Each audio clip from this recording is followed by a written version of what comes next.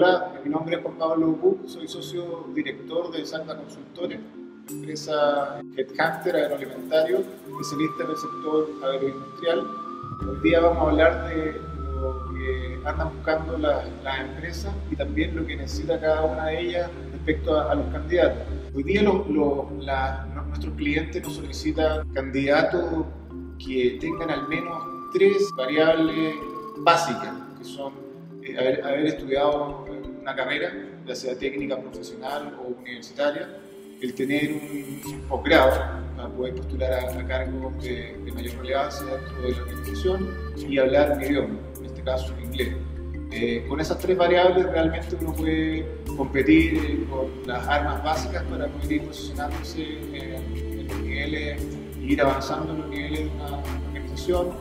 En el caso de las personas más jóvenes, lo que yo les recomiendo es que eh, atendan inglés, vayan a trabajar a Working Holiday que hay en Australia o Nueva Zelanda a poder mejorar el idioma y les aseguro que con, el, inglés van a poder postular a, trabajo con, un 30% más de ingresos que el, no hablar inglés. O sea, estamos hablando de un porcentaje importante de incremento salarial producto de una variable como el idioma.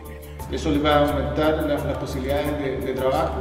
También otro tema que está pasando mucho y que les quiero mencionar a, los estudiantes, ¿no a los que están recién egresados, es que hay un movimiento importante de, la floricultura desde Santiago al, sur. Por lo tanto, tienen que tener la disponibilidad para poder y tener en su mente la movilidad para poder trasladarse fuera de Santiago, a ir fuera de Santiago. Hoy día, con el cambio climático, la escasez de agua, eh, mucha fruticultura se está trasladando desde Santiago hacia el sur, por lo tanto tienen que tener dentro de sus consideraciones el trabajar ya no acá en Santiago, sino que fuera de Santiago. También ahí le va a aumentar bastante sus posibilidades laborales.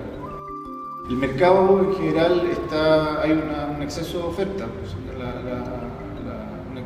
un exceso de oferta respecto a la demanda. Por lo tanto, los factores que yo mencionaba anteriormente son los claves como a poder diferenciarse. uno acá tiene que tratar de buscar una diferenciación, ya sea a través de un posgrado, ¿cierto? un MBA o algún máster, ya sea por la línea técnica, si la persona quiere trabajar por el lado técnico, y también el, idioma. O sea, el que no habla inglés tiene muy pocas posibilidades de, avanzar y hacer desarrollo profesional, ya sea en Chile o, fuera, a trabajar fuera.